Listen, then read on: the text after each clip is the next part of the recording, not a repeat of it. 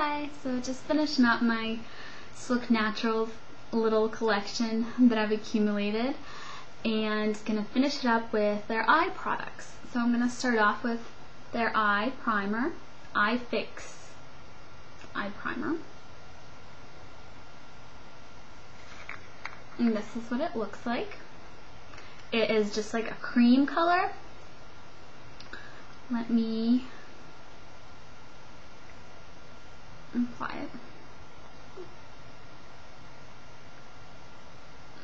Maybe that wasn't that good of a place to apply it. Hold on. There we go. See that? Just like a skin color. And you blend it in and it kind of lightens your skin just a little bit. How they recommend that you use this is apply as a highlighter or a base under eyeshadow for a longer lasting look and this is 0.2 ounces or 5.7 grams. So this will lighten your eye because I'm um, pretty fair and this lightens my skin when I apply it. And unfortunately, it doesn't really work for me in terms of preventing creasing, but to be fair, everything creases on me. So the only thing that's really worked is the Urban Decay Primer Potion. I haven't tried Too Faced Shadow Insurance, so I don't know. And um, the e.l.f. Mineral Primer actually works pretty well also on me, but mostly those liquid wand kind of primers. Nothing creamy like this has worked for me.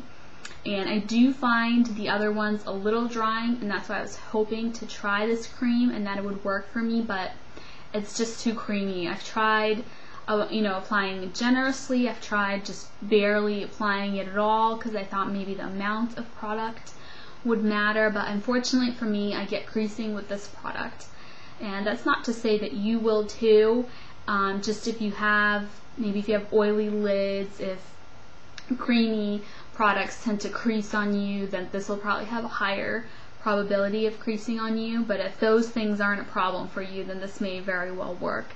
So keep that in mind and let's see what else I want to tell you about this. Oh, I've been using it under my eye as a primer for my um, concealer and it works pretty well for that because that part of my eye is kind of dry anyways so it's not really um, oily and doesn't it prevents my um, concealer from kind of fading so it does work well for that you can recycle it for that purpose if it doesn't work for you. And then this next thing is the cream eyeliner in Amethyst. And this is the packaging that it comes in. It's this teeny tiny little plastic. Here it is. And it's probably like the size of a quarter. It's this plastic little snap open thing. And this is what it looks like. It's a very deep, plummy kind of purple. And it does have some shimmer to it.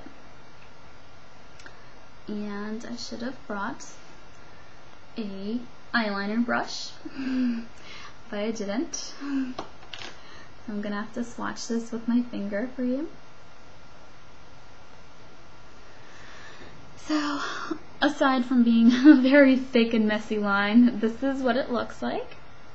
Just a very deep purple and the, oh I forgot to tell you this is like ten dollars. It's like nine ninety five or something. And this one is I think six dollars and fifty cents.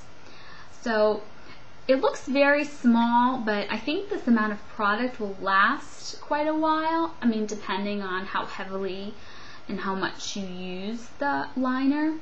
My thoughts on it are that um, I just think it probably should be cheaper considering they're saving so much money because they are giving you a little bit of product and it is like this like kind of cheapo packaging. Because you can get a cream liner for like three dollars from Wet and Wild at Walmart. And so the fact that you're paying double for this and getting um, you know less product in a you know cheaper package I just think that um, the price of this is probably a little bit too much in my opinion but it is a nice product and it is um, unlike the Wet and Wild, it is natural and they're isn't, I don't know what kind of, you know, preservatives Wet n Wild has, but I do know that this doesn't have like parabens and stuff like that in it. And let's see, the only thing with it is, and this could just be cream liners in general for me, because I don't wear cream liner. This is actually my first cream liner. It's it's almost like if you've ever had a really soft eyeliner pencil, maybe like the, um, I know the Urban Decay pencils are really soft. So it's the same kind of texture. It's like if you took that part out of them and like melted it into this, this is like a, you know, melted down eyeliner pencil. The only difference now is you apply it with a little brush instead of in pencil form. And so it's a little solid for me. I thought it would be like really creamy and soft and it could also be that the weather here is cold or it could be this is how all cream liners are. I don't know, it's my first one so maybe I was expecting it to be more like a gel liner or something. Um, but just keep that in mind if you're comparing it to something you own because I have nothing to compare it to but it's a little bit solid for me and the way it applies it it kind of looks the same as a pencil would as an eyeliner pencil. And now I will swatch some eyeshadows for you. They come in little jars like this same as Everyday Minerals sample jar and you get it's four dollars and you get to pick a free one with every $30 purchase. So this first one, right next to the eyeliner, if you can see it shining there, it's called Whisper, and it's a very pretty light pink with lots and lots of golden kind of frost and shimmer. And I really like it. It's, I think it's kind of a unique pink because of all that gold that it has in it.